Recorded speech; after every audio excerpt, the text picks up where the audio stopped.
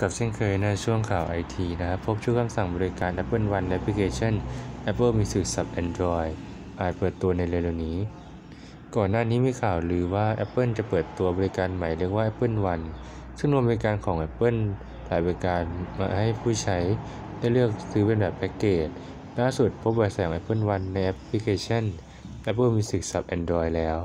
นะครับเบาะแสของบริการนะครับผม Apple One ที่ถูกพบในแอปพลิเคชัน Apple Music สำหรับ Android เวอร์ชัน beta 3.4.0 ชี้ให้เห็นว่าบริการ Apple Music อาจจะเป็นส่วนหนึ่งของ Apple One นะครับ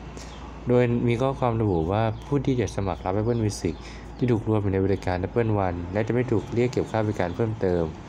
ผู้ใช้สามารถจัดการการรับสมัคร Apple One ได้บน iPhone iPad Apple TV และ Mac ข้อความต้นฉบับมีดังนี้ Your Apple Music subscriptions will be included in Apple One starting percents. You will not be changed for both subscriptions. You can manage your Apple One subscriptions using your iPhone, iPad, Apple TV or Mac.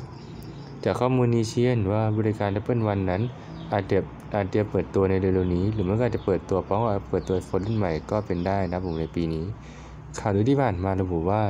Apple จะรวมบริการอย่าง Apple Music, Apple New Plus, Apple TV Plus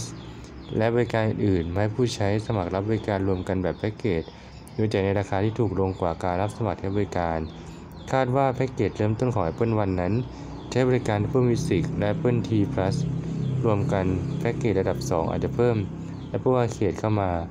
ระดับ 3 ก็อาจจะเพิ่มบริการ Apple News Plus เข้ามา ส่วนระดับสูงสุดคาดว่าจะรวมทุกบริการพร้อมที่เก็บข้อมูลบน iCloud ที่จะมีบริการเสริมเกี่ยวกับฟิตเนสหรือคลาสออกกำลังกายเพิ่มเข้ามาด้วย ซึ่งในตอนนี้ยังมีข้อมูลยืนยันหรือข้อมูลเพิ่มเติมใดๆเกี่ยวกับเรื่องราคาของแพ็กเกจ Apple One รอติดตามกันต่อไปว่าบริการนี้จะเปิดตัวเมื่อไหร่ ได้เปิดให้บริการในประเทศไทยหรือไม่อย่างไรนะครับ ผมเป็นรายต่างๆนะครับสำหรับนี้ในช่วงข่าวเกี่ยวกับไอทีห้องจุดลำเพียงเท่านี้นะครับ ขอบคุณสวัสดีตามรายการชมได้ผมสวัสดีครับ